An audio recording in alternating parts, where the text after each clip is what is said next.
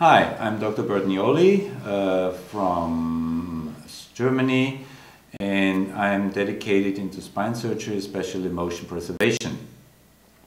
Uh, having done a lot of fusions in the past, I was never convinced with the outcomes, so I was searching for something that helps uh, my patients much better than what I could do in the past. And finally, I found something uh, that my colleagues from hip and knee surgery uh, have found years ago, uh, spine arthroplasty. Spine arthroplasty means artificial replacement of uh, discs or joints by maintaining the function, the important function of the spinal unit.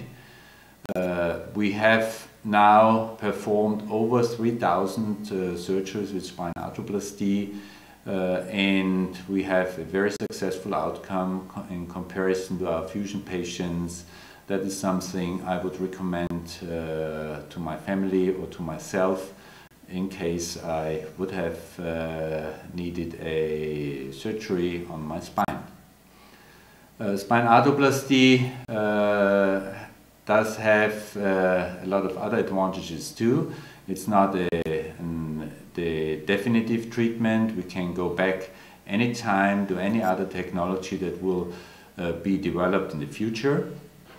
And uh, we can go uh, back to fusion if uh, necessary, if something breaks. If we start with fusion procedures uh, today, then uh, we do not have anything to top it. That means we cannot offer anything else to our patients.